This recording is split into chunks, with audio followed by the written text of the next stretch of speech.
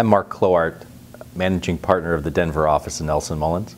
Uh, the Denver office is an exciting uh, branch of the firm. We have a enthusiastic, professional team uh, who completes uh, excellent work product for the clients, and we, we do it in a fun atmosphere. We all work a lot together, so it's important that we all get along and work effectively as a team, which we do. Um, it's an inclusive, growing environment in which we are striving to um, push each other's limits in terms of uh, work product. Uh, and, and, as we continue to grow, we will add additional attorneys and professionals uh, in new and exciting areas of the law.